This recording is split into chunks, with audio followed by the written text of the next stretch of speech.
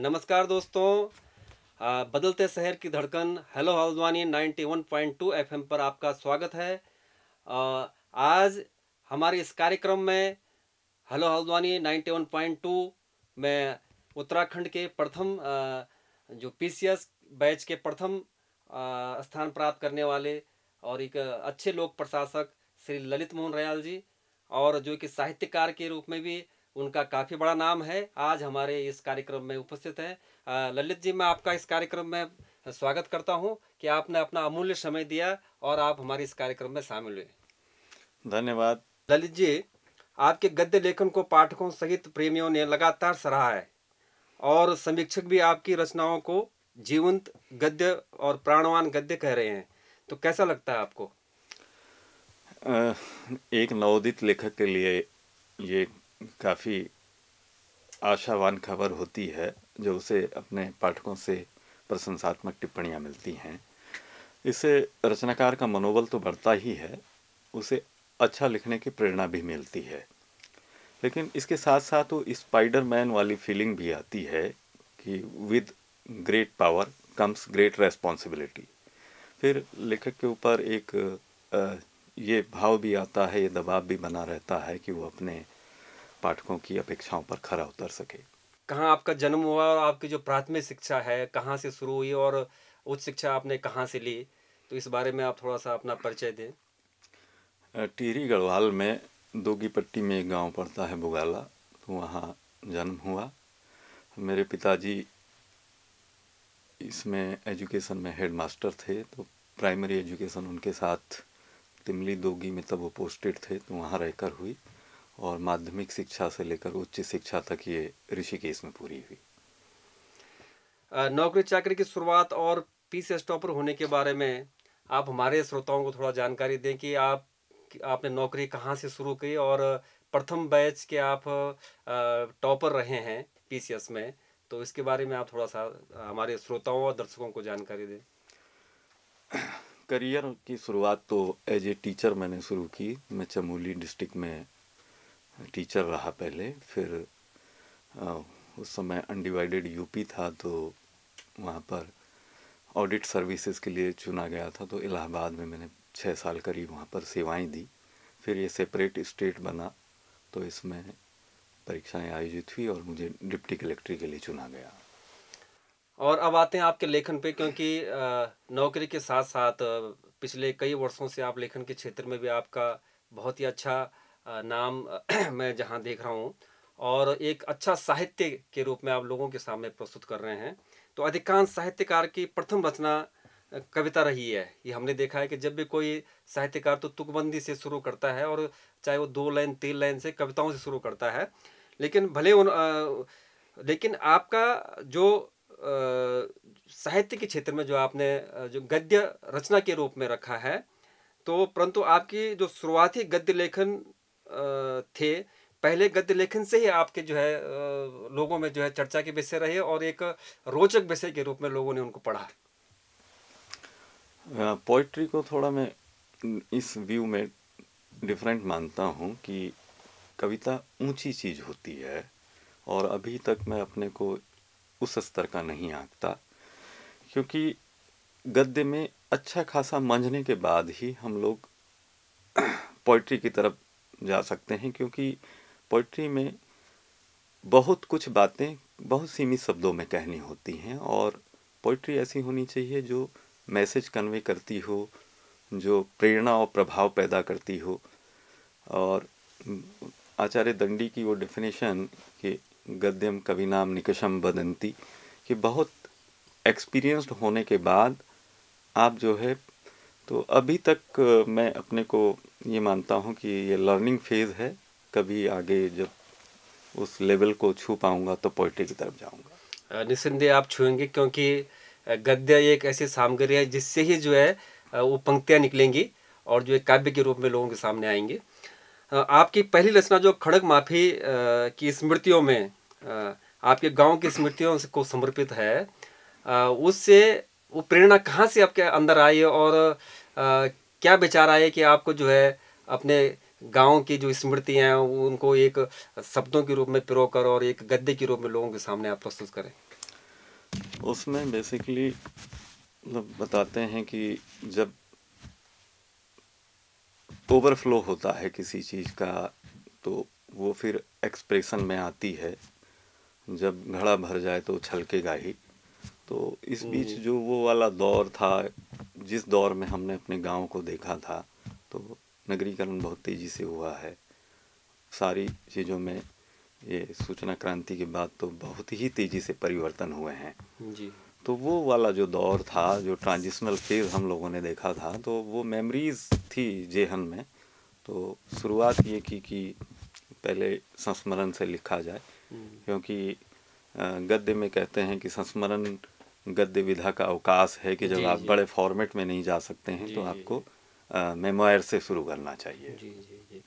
बहुत ही अच्छी एक प्रेरणा और ये जो इस क्षेत्र में जाना चाहते हैं उनके लिए आपने दी है कि अपना जो आपकी जो मेमोरी हैं जो आपके संस्मरण हैं उनको यदि आप जो है लोगों के सामने एक साहित्य के रूप में प्रस्तुत करें तो वो बेहतर रहता है और पठनीय भी होता है। बहुत अच्छी आपने प्रेरणा और जानकारी दी। आपको तो प्रशासनिक सेवाओं के कारण अधिकांश समय शहर में बिताना पड़ रहा है। नौकरी के नाते फिर भी ऐसा लगता है कि गाँव आपकी धमनियों में रचा बसता है यानी कि आप शहर में रहते हुए भी आप शहरी नहीं हैं। ये बहुत बड़ी बात है। इसके पीछे जो मैं समझता हूँ कि मेरी परवरिश गाँव में ही भी वहीं पला बढ़ा। तो हम्म। वो जो अवस्था होती है टीन एज तक की वो अवस्था होती है कि जिसमें बच्चा बहुत तेज़ी से सीखता है और वो वही उसी अवस्था में आपकी आदतें अभिरुचियाँ ये विकसित होती हैं उनका आजीवन आप पर प्रभाव पड़ा रहता है। इसके अलावा जो हमारी पेरेंटिंग जो पेरेंट्स हैं या घर है वो अभी भी वहीं हैं गाँव में। तो उसमें आवागमन मेरा बना रहता है वो प्रवाह बना हुआ है और उन चीज़ों को रिजुवनेट करने का आपको मौका मिलता रहता मतलब है। मतलब उस रिश्तों को आप बीच बीच में जो सींचने का काम आप करते रहते हैं। हाँ और मतलब वो कड़ी अगर निरंतर बनी है जी, जी, जी, तो फिर वो फ़िल्म जो है कंटिन्यू रहती है। जी जी बहुत बढ़िया। ये बहुत ही अच्छी बात है ये इससे प्रेरणा मिलती है कि हम लोग जो अपने गाँव से प्लान कर रहे हैं शहरों की तरफ़ अपने गाँव से पहाड़ से नौकरी के लिए हम भले आ जाएँ जीवन यापन बहुत ज़रूरी है लेकिन अपने जड़ से हम जुड़े रहें अपनी संस्कृति से अपने गाँव से अपने पहाड़ से हम जुड़े रहें ये बहुत बड़ी प्रेरणा और आप जैसे एक अच्छे लोग प्रशासक यदि इस बात को कहते हैं तो ये एक बहुत ही बड़ी प्रेरणा हमारी नई पीढ़ी के लिए है। जब आपकी जो पुस्तक आई, पहले खड़ग माफ़ी की स्मृतियों में, जिस भी व्यक्ति ने वो पढ़ी होगी, उसने अपने गाँव को संस्मरण किया। मतलब उसे लगा कि मैं अपने गाँव के बारे में पढ़ रहा हूँ और उसको अपना गाँव उस किताब में दिखाई दिया।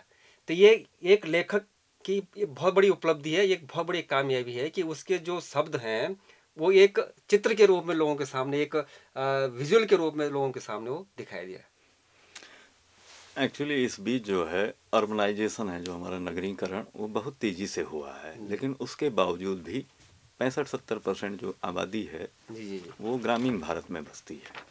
और ग्रामीण भारत में खेती पाती है किसानी है पशुचारण है गोचारण है नदी नाले पोखर तालाब वो एक जैसे ही हैं। तो उससे मतलब हर किसी को लगता है कि ये तो मेरे गाँव में भी था। और जब आप उन्हीं चीज़ों को उन कैरिकेचर्स को उन पर्सनैलिटीज़ को उन मेमोयर्स को डिपिक्ट करते हैं तो घटनाएँ भी कमोबेश एक जैसी होती हैं तो वो यूनिवर्सल हो जाता है। और जो ग्रामीण भारत है उस दौर में उदारीकरण से पहले जो हमारी बाल्यावस्था थी किशोरावस्था थी उस दौर में क्या था कि जो बदलाव था वो बहुत धीमे धीमे होता था तो बड़ा मोहक सा लगता था ठहरा ठहरा सा। तो वो कनेक्ट करने में फिर रीडर्स को आसानी रहती है। बहुत अच्छी बात है, लेकिन कि शब्दों का उपयोग करना और उसको, उससे जोड़ना, ये बहुत बड़ी एक लेखक की होती है, खूबी होती है और ये आपके अंदर है। और यही कारण रहा होगा कि हर किसी को आपके गद्य में जो अपना गाँव नज़र आया अलग अलग जो लेखक रहे हैं अलग अलग विधा के अलग अलग सोच के अलग अलग विचार के उन सबसे आपकी तुलना करते हैं। मतलब एक तरफ़ नहीं है।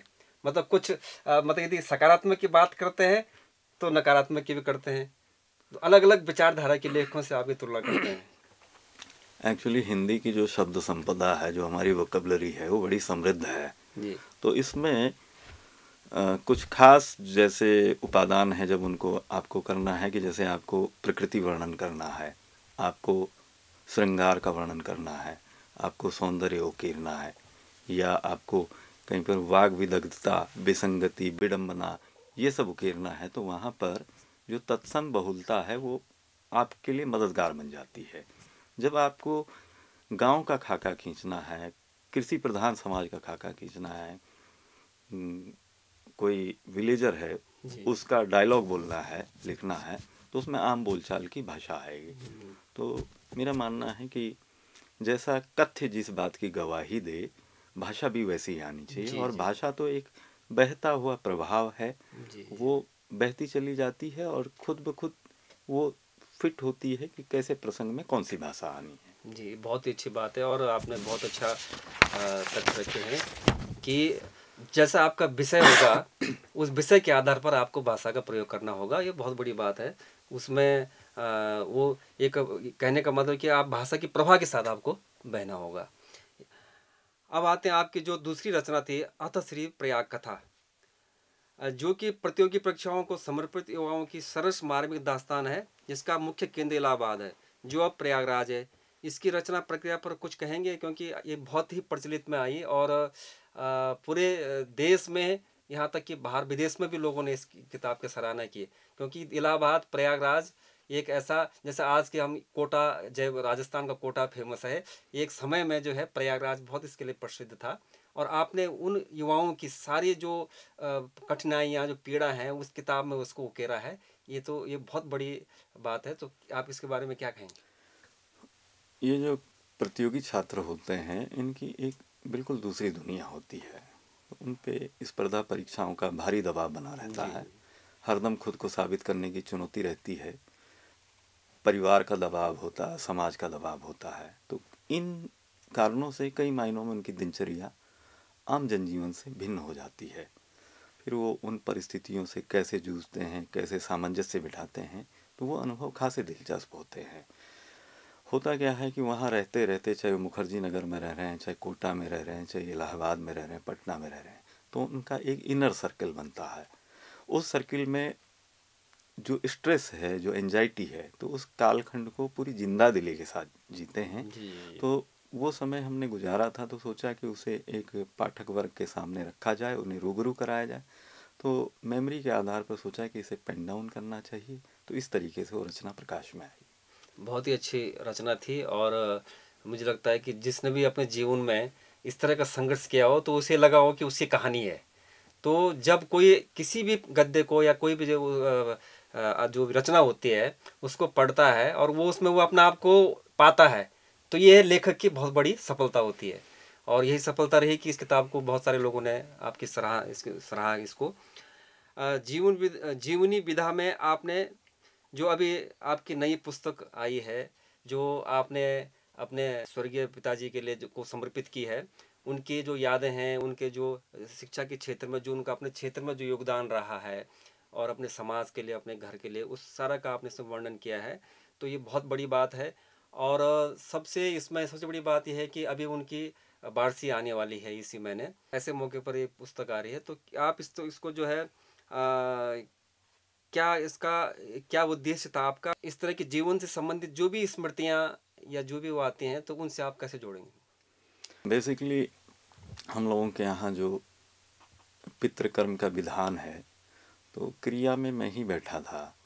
तो मतलब फादर से क्लोजनेस थी सभी भाई बहनों की तो वो होता है कि जब इंसान चला जाता है तो फिर उसका अभाव बुरी तरह खलता है। तो वो उस दौरान वो खास मनोदशा से मैं गुजर रहा था तो सोचा कि ये जो टुकड़ों टुकड़ों में जो स्मृतियाँ आ रही हैं, इनको एकाकार कर लिया जाए, इसको पुस्तकाकार लाना चाहिए। और फिर उनका जो जीवन था, वो शानदार जीवन था। तो वो इंस्पायरिंग था, किसी भी कॉमन मैन के लिए वो मतलब गर्व करने लायक हो सकता था। तो सोचा कि उन सारी स्मृतियों को एक साथ रख लें और उनको बायोग्राफिक उसको आकार दे दें। तो इस तरीके से ये काम हो आपने जो उसका टाइटल रखा है कारी तो कब न हारी कारी तो कब न हारी इसके पीछे क्या आ, मतलब था आपको क्या उद्देश्य था इस टाइटल के पीछे? क्या था इसका? एक तो मतलब ये हिंदी की जो सहायक बोली हैं पहाड़ी बोलियाँ गढ़वाली बोली का फ्रेज है ये। जी, जी। और ये जो गीता का कर्मयोग है उसको प्रतिबिंबित करता है कि कर्मयोगी तो कभी हार नहीं सकता। दूसरा ये था कि ये हमारे स्वर्गीय पिताजी का तकिया कलाम था। अच्छा, वो जब भी कोई वैसी क्षण आते थे तो वो कहते थे कि परिश्रम से दरिद्रता का नाश होता है और कर्मयोगी कभी हारता नहीं है। तीसरा इसमें यह था कि उनकी जो जीवन यात्रा थी वो संघर्षशील रही और उनकी अपनी पर्सनैलिटी में जो गुण सबसे ज़्यादा हमें प्रभावित करता था, वो था उनकी कर्मशीलता। तो उस वजह से मुझे लगा कि ये पूरी पुस्तक के साथ भी ये शीर्षक न्याय करेगा और उनके जीवन दर्शन से भी वो मेल खाता था। तो इस कारण ऐसा शीर्षक आया। तो ललित जी आपकी इस पुस्तक से मुझे जो निष्कर्ष निकलता ही निकलता है कि एक तो इसका जो टाइटल है, विषय है, यही एक प्रेरणा है युवाओं के लिए जो बहुत कम संघर्ष में जो हिम्मत हार लेते हैं। और भावुकता तो है इसमें, है ना? लेकिन पिता पर जब आपने लिखते समय आपने तटस्थता और भावुकता में तालमेल कैसे बैठाया? मतलब जब आपने लिखना शुरू किया और आप, क्योंकि भावुकता से जुड़ी हुई किताब है ये तो आपने तटस्थता तटस्थता भी ज़रूरी थी, तभी आप उसको पूरा कर पाते। आपकी नौकरी भी थी और एक आप अच्छे लोग प्रशासक हैं और ज़िम्मेदारी आप पे है। लेकिन उसके साथ भावुकता इन दोनों का तालमेल किस तरह से बैठाया आपने? जब आप अपने किसी क्लोज रिलेशन पे या पिता पे लिखते हैं तो पिता का किरदार बहुत बड़ा होता है और वो जो कहावत होती है कि बाप बाप होता है तो नेक्स्ट जो जनरेशन होती है हमेशा वो आंकती है कि हम उनका दशांश भी नहीं हो सकते। जी। तो इसमें बेसिकली सबसे ज़्यादा चुनौती आती है कंटेंट को लेके कि पिता के बारे में जब आप लिख रहे हैं तो आपके पास बहुत कुछ होता है लेकिन वो बहुत कॉमन होता है या आपके पास कुछ भी नहीं होता। तो ऐसे में फिर मुश्किल ये होती है कि इसमें से सिलेक्ट किन किन प्रसंगों को किया जाए। तो फिर मैंने ये कोशिश की कि जो उनकी लाइफ के लैंडमार्क्स थे जो निर्णायक घटनाएँ थी या जो उनके लाइफ के टर्निंग पॉइंट्स थे उनको नोट डाउन किया। फिर ऐसे प्रसंग जिनसे उनके व्यक्तित्व का कोई खास पहलू उभरता हो या उन इवेंट्स को चुनने की कोशिश की जिनसे उनका मुकम्मल रूपाकार उभरता हो। तो लिखने का समय भी ऐसा था कि वो उन्हें गए कम ही समय बीता था। तो वो जो उद्गार होते हैं। फिर ये भी मालूम था कि भावुकता जो है आपकी राइटिंग को चौपट कर देती है। क्योंकि जो लेखक है, लिखता है तो उसे पाठकों के जेहन का भी अंदाज़ा होता है, अनुमान होता है, और कोई भी रीडर हो, वो प्रमाणिकता को पसंद करता है। तो इस वजह से इसमें बैलेंस बनाने की कोशिश की गई है। बहुत बढ़िया, और इसका बैलेंस जो भूमिका इसमें प्रसिद्ध साहित्यकार लीलाधर जगुड़ी जी ने लिखी है उनकी भूमिका से स्पष्ट होता है कि आपका एक तो सहजता थी इसमें और इस इसको उन्होंने जीवन रस से भिगा हुआ प्राणवान गद्य का है। ये अपने आप में बहुत बड़ी बात है कि एक बड़े साहित्यकार आपके जो इसकी इसका जो आ, टाइटल है उसको और इस किताब को कहते हैं कि जीवन रस से भिगा हुआ प्राणवान गद्य है ये। तो आ, क्या आप यह मानते हैं कि लेखन के लिए जीवनता सर, सरसता अनिवार्य है और तभी पाठक तक सहजता से बात पहुँच पाती है। मतलब उसमें जीवनता होनी चाहिए और सरसता होनी चाहिए तभी वो जो है सहजता के रूप में जो है पाठकों तक पहुँच पाती है। साहित्य की कई सारी डेफिनेशंस दी गई हैं तो एक फ्रेज कहा जाता है कि साहित्य से भाव साहित्यम कि वो सबके लिए हो सबके सहित हो सबको साथ लेके चलता हो।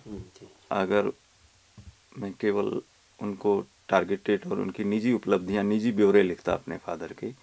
तो फिर उन केवल मेरे परिवार के लिए ही उसकी सेंटिमेंटल वैल्यू रह जाती बाकी पाठक को उससे क्या लेना देना?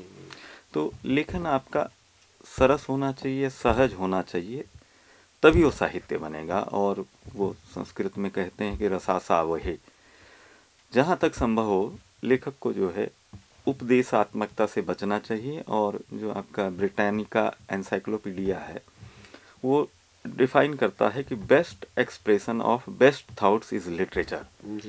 और एक और मेरा सजेशन रहता है कि लेखक को जो है पांडित्य बघारने से बचना चाहिए उसे पाठक खींचता है उसे उपदेशात्मकता से बचना चाहिए। जो। विचार हैं जो थॉट्स हैं जो आपका मैसेज है वो आपके कथ्य के प्रवाह के साथ ऑटोमेटिकली आ जाता है। और फिर जो रीडर होता है, वो इतना स्मार्ट होता है कि वो बिटवीन द लाइंस लेखक को पकड़ लेता है, उसके विचारों को जान लेता है। कार्य तो कभी न हारी मतलब ये कि कर्मयोगी के रूप में कि भाई आदमी को कर्म करता जा रहना चाहिए और कभी हार नहीं माननी चाहिए तो इसमें ही आपने बहुत कुछ कह दिया। और दूसरी बात ये कि मैं कहूँ कि जो अभी आपकी किताब जो कार्य कभी न हारी, लगभग दस प्रतिशत आपने इसमें गढ़वाली शब्दों का प्रयोग किया है। और कुछ लोगों का कहना है कि इस तरह की जो रचनाएँ होती हैं, इनमें यदि आप स्थानीय बोली भाषा का प्रयोग करते हैं, स्थानीय बोली भाषा के शब्दों का प्रयोग करते हैं तो ये जो पाठों का जो स्वाद होता है, उसमें उसमें बाधा उत्पन्न करता है। तो क्या ये सच है? मैं थोड़ा सा इसमें अलग विचार रखता हूँ कि जो प्रमाणिकता है साहित्य की, या आपको उसमें लोक लाना है संस्कृति लानी है तो उसकी प्रमाणिकता के लिए परिवेश और परिवेश की भाषा ज़रूरी है। बहुत ज़रूरी है बहुत बढ़िया। और फिर जो लोक भाषा है वो अपने आप में सृजनशील होती है। उसका अपना एक अलग सा सौंदर्य शास्त्र होता है। वो बहुत सारे सामाजिक मूल्यों को सौंदर्य मूल्यों को कला के साहित्य के मूल्यों को उनका वहन करती आ रही है। उदाहरण के लिए मैलांचल की बात हम करते हैं तो उसमें जो मगही है और जो वहाँ की मतलब संथाल जब डिग्गा और मादल बजाते हैं या वहाँ पर जो विकटा नाच होता है विदापत नाच होता है या कुंवर विजय भान की कथा होती है तो उस स्थानीय बोली के कारण कमला नदी के किनारे वाला मेरीगंज आपको इतना मोहक लगता है कि आपका मन होता है कि काश मैं मेरीगंज में होता। तो जो लोक बोली है उसमें एक्सप्रेशन की भी हम्म, हज़ार गुना ज़्यादा ताकत होती जी है जी जी कि आप जो है दो अक्षरों के शब्द में इतना कुछ कह जाते हैं।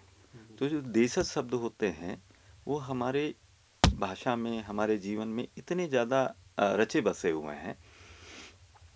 जब किसान खेतों में निराई करते हुए लंबा आलाप लेता है तो पश्चिम में जो इल्यूजन है रियलिटी वाली बात है वो वहाँ पर साबित होती है। तो इस कारण जो परिवेश की भाषा है उसको मतलब एक सर्टेन रेशियो में मैंने ज़रूरी समझा। ये बहुत अच्छी बात है।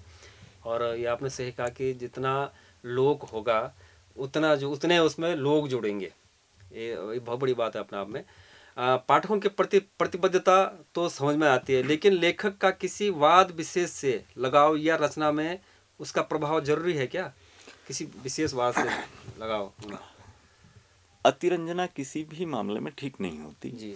जो अच्छा है श्रेष्ठ है जो यथार्थ है उसे आना चाहिए चाहे वो किसी भी वाद या इज्म से ताल्लुक रखता हो। जी। फिर कोई भी पंथ है कोई विचार है कोई वाद है कोई इज्म है वो शुरुआत उसकी रूढ़ियों के खिलाफ होती है और अच्छाइयों को लेकर उसकी शुरुआत होती है। लेकिन होते होते जब निश्चित समय अंतराल बीतता है तो उसमें भी वो खूबियाँ खामियाँ आ जाती हैं। इस मामले में नीरछीर विवेक का प्रयोग होना चाहिए और अच्छे मूल्य चाहे वो किसी भी इज्म से रिलेटेड हों। और वो आपके कथ्य में आने बनते हैं तो वो आए। फिर मेरा मानना है कि किसी वाद के प्रति अगर आप पूर्वाग्रह रखते हैं तो वो न्यूनाधिक रूप से आपकी समदृष्टि को बाधित करता है। हमारे ही पुराने प्राचीन वांग्मय में लें तो उसमें सांख्य से लेकर वेदांत तक सरदर्शन की व्यवस्था है। अपने आप में एक एक दर्शन जो है नायाब है, लेकिन अपने आप में मुकम्मल कोई भी नहीं होता। तो इन सब का जो समन्वित रूप है, वही आपके जीवन को परिपूर्ण बनाता है। बहुत अच्छी बात है और एक जो नए लेखक हैं हमारे, या लेख, लेखन के क्षेत्र में या साहित्य के क्षेत्र में जो लोग काम कर रहे हैं या करना चाह रहे हैं, उनके लिए बहुत अच्छी एक प्रेरणा है, एक बहुत अच्छी जानकारी है कि उनको किस तरह से अपने लेख को लेके चलना है।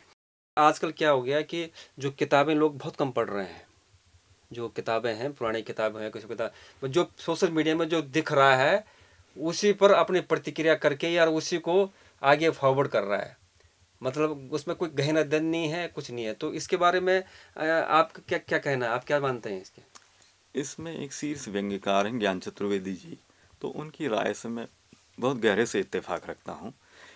ज्ञान जी कहते हैं कि मैं खूब पढ़ता हूँ और बुरी किताबों को तो मैं मन लगा के पढ़ता हूँ। उससे सबक लिख लेता हूँ कि ऐसा तो हरगिज नहीं लिखूँगा। हम्म, फिर इससे ये फ़ायदा भी होता है कि आप जिस थीम पे लिख रहे हैं हो सकता है उससे पहले उससे बेहतर लिखा हो कि हम सोच रहे हैं कि बिना पढ़े हुए कि ये हमने लिख दिया लेकिन पता चला कि उससे लाख गुना पहले बड़े लेखकों ने पुराने लेखकों ने किसी भी उसमें शास्त्रीय उसमें क्षेत्रीय उसमें किसी ने पहले लिखा हो। तो रीडिंग के हैबिट से होता है कि आप पुनरावृत्ति दोष से बच जाते हैं। और मेरा तो मानना है कि कोई भी लेखक है रचनाकार है बिना पढ़े उसकी गुजर नहीं है। बिना पढ़े तो वही लिखेगा जिस पे सीधे दैवी कृपा बिरस रही हो या फिर वो कालिदास जैसा प्रतिभा संपन्न हो। जी। तो जो कि पॉसिबल नहीं है। जी जी। तो पढ़ने से ही लेखन की शुरुआत तभी होती है जब आप खूब पढ़ लेते हैं। जी जी। फिर वो होता है कि सौ किताबें पढ़ेंगे तो फिर दो किताबों का अर्क निकलेगा। जी जी जी। बहुत अच्छा आपने अ, ये एक जानकारी दी और एक संदेश भी है। आपकी तीसरी रचना के कवर पेज पर शोध प्रकाश चौथी रचना चाकरी चतुरंग की भी चर्चा है। इसकी विषय वस्तु के बारे में हमारे श्रोताओं को आप कुछ बताना चाहेंगे कि चातुरी, जो चाकरी चतुरंग है, ये टाइटल आपने क्यों चुना और इसके पीछे क्या रीजन था आपका? बेसिकली ये एक औपन्यासिक आकार की रचना है और इसमें जो हमारा सिस्टम है व्यवस्था है उसका प्रतिबिंब उकेरने की कोशिश की गई है। हम्म, तो ये किताब जो है आएगी शीघ्र ही पाठकों के बीच पब्लिकेशन में है। अच्छा जी। जी। चलते चलते हमारे साहित्य प्रेमी श्रोताओं से कुछ आप विशेष कहना चाहेंगे कि यदि वो भी साहित्य के क्षेत्र में रुचि रखते हैं तो उनको किस तरह का पैटर्न अपनाना चाहिए? किस तरह का साहित्य जो है उनको लिखना चाहिए और साहित्य लिखते समय उनको किन किन बातों का विशेष ध्यान रखना चाहिए? जो हमारे रीडर्स हैं, उनके लिए ये कहना है कि वो अपने मिजाज का पढ़ें, स्तरीय पढ़ें अच्छा पढ़ें। पढ़ने से मानसिक क्षितिज का विस्तार होता है। पढ़ने की जो आदत है, वो आपका एंटरटेनमेंट तो करती है, उसके साथ साथ आपको नए समाधान देती है, नए विकल्प देती है। और जो हमारे नवागंतुक नवोदित लेखक हैं, वो भी लिखने में जल्दबाजी के बजाय मेरा कहना है कि एक इलस्ट्रेशन है राग दरबारी का, कि वो चार पाँच साल में लिखी गई और श्रीलाल जी ने उसके पाँच ड्राफ्ट किए। तो थोड़ा हमें पेशेंस इस जनरेशन में कम होता जा रहा है। अगर हम रीराइट करें उसका ड्राफ्ट कम से कम तीन तो आना ही चाहिए। फिर जो आपका बेस्ट है, वो बाहर आएगा। तो ये कहना था। जी, ये बहुत अच्छा बात है। आपने पाठकों के लिए भी और लेखकों के लिए जो नए लेखक के क्षेत्र में अपना कैरियर बनाना चाहते हैं या शौक के रूप में लिखना चाहते हैं, उनके लिए आपने बहुत ही अच्छा संदेश दिया, बहुत अच्छी जानकारी दी। और आज आप हमारे बदलते शहर की धड़कन हेलो हल्द्वानी 91.2 एफएम पर आप आए हैं।